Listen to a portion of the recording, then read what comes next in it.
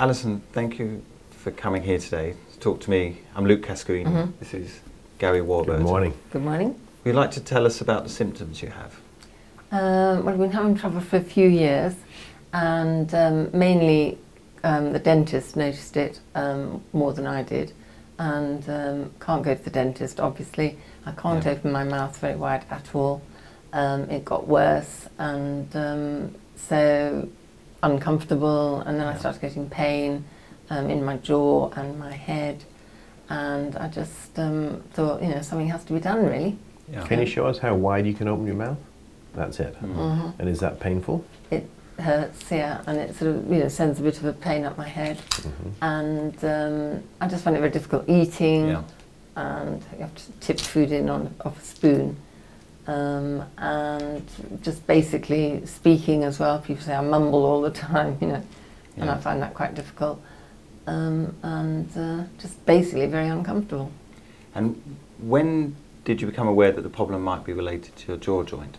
really when I went to well the dentist said obviously it's you know you Right. can't have your mouth so it's probably your jaw and I was a bit worried thought you know I need to go and see somebody so I went to see Mr Hugh Davies who referred me on to you and said Yeah. you know no option really Mm. And you mentioned a couple of years, yeah two years this has been going Mhm. on. yeah Okay.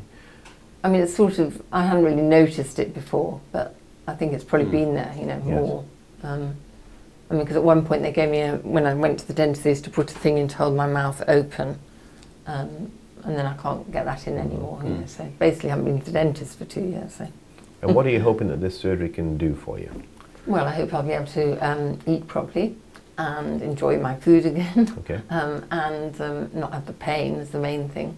Okay. Um, and go to the dentist, which I never thought I'd say, because I hate the dentist, but. Tell us a little bit about the pain. Is the pain there all the time? Um, basically, yeah, it's like a sort of um, a toothache, you know, or sort of down under here. So you're never pain free. No, And what's the least amount of pain on a zero to ten probably scale? sort of four to five, something like that, and then sometimes it goes up to about eight, nine if it's really bad. and what makes it worse? I think usually when I've been concentrating a lot, because I do Mhm. grit my teeth, which probably doesn't help, and um, it's um, you know you're sort of like this, and, and that is really bad, you know. Mm. Okay. And then you just want to sort of you know sort of like this all the time. Okay. Could we have a look at your hands, please? Yeah, sure. Thanks. So you've got some signs of a type of Yeah. wear and tear sort of Yes, arthritis of yeah. your And then my knees are quite bad as well. Yeah, But um, yeah, then they are very painful as well. yeah. Yeah. So. Because the same condition is affecting your jaw joint, Mhm. and it has a similar effect. It restricts the movement and causes Mhm. pain and swelling. So, what we're proposing is Mhm. to remove the joint and replace it Mhm. with a custom-made joint, Mhm. which is made of a combination of um, titanium and um, high-density plastic, essentially. Yeah. And that will be put where your damaged joint is, with small incisions in, in front of your ear and in your upper neck. Mhm. Um, So this is an example of what we'll be using. This isn't your model, but this is the identical God. custom Nice a bit prosthetic joint. and it's screwed to your jaw here and here. And we do it Mhm. through two incisions. The first incision is in front of your ear here, which you'll virtually it'll disappear. Yeah. And the second incision is down on your neck, it's Mhm. about this long, just down behind the angle of your jaw. Okay. And we use those two incisions to get this Mhm. into place. And you just sort of slide them in, or whatever. It's, they're slid and then we Mm. screw them into place. Brilliant. Yeah. Looks amazing. Will I be able to go through the airport? you will? yes. People sometimes worry, you know, like about the airport or does it feel different? But Mhm. most people who've got these joints Mhm. don't, uh, once it's all healed up, you Mhm. know, after a few months, maybe up to a year, Yeah. people don't really notice that they're any different from just, And will it change my face at all? Or- not No. significantly. No. You'll feel it if you put you're thin. Mm. If you feel over the jaw, you'll, Mhm. you'll probably feel the, the metal component, but you're not going to notice it in Yeah. appearance. But you won't feel it from inside or anything? No. No. And no one will be able to look at you and see No. any difference. Okay. And when you're opening your mouth, what you'll notice is Mhm. your jaw will deviate Mhm. rather than opening straight, and that's Yeah. entirely normal Yeah. because, because this artificial joint doesn't slide like the natural No. joint. So you have one side that's sliding normally Yeah. and the other side is hinging, Okay. and that results in a deviation when you open, and that's yeah. entirely Mine normal. deviates anyway. So. Yeah. Yes, yeah, yeah. Just to give you some perspective, in the US there are 1.5 million knee prostheses done per Mhm. year. Yeah. TMJ prosthesis is about 1,000. Wow. So there's a huge difference. Yeah. That's amazing. Um, but it's the same material, it's the Mhm. same quality. It's all Mm. and is that quite heavy? That, the, not really. I mean, Well, the, the not most of the weight it's is this. Quite thick, isn't it? Most of the weight Mm. is the plastic. Yeah. Mm. Yeah. Yeah. Um, I guess we can talk a little bit about the post-op. So initially Yeah. on the recovery, Mhm. you're going to be on a liquid diet for the Right. first few weeks, Mhm. and then you'll progress to a, a soft, mushy, Mhm. non-chew type diet. Okay. That's typically for about four to six weeks Okay. before you can advance to more of a normal diet. My God, I want my Um, steak. yeah. and then we'll have you start doing some stretching, some physiotherapy on your own at Mhm. home, probably four times a day. yeah. Is that um, straight away? That's going to be starting in a few weeks after the Oh, okay. initial pain subsides. Sometimes. Okay. And then you'll just begin stretching, and that'll Mhm. gradually increase your mouth opening Mhm. uh, to a more normal range. Right. You'll probably have uh, certainly one night in hospital, Mhm. and if you do well, you'll go home tomorrow. Good. Um, some people require two nights. Mhm. That's We'll just see how you do. Prepared for that. Typically, we uh, will sometimes use a, a drain Mhm. that comes out, and if we do, that Mhm. will be removed tomorrow. Mhm. Um, we don't always use that. From a patient perspective, is there any anything that you want to know? Any questions that you would ask? Um, yeah, just a bit worried about the anaesthetic because obviously you can't put a tube down my throat.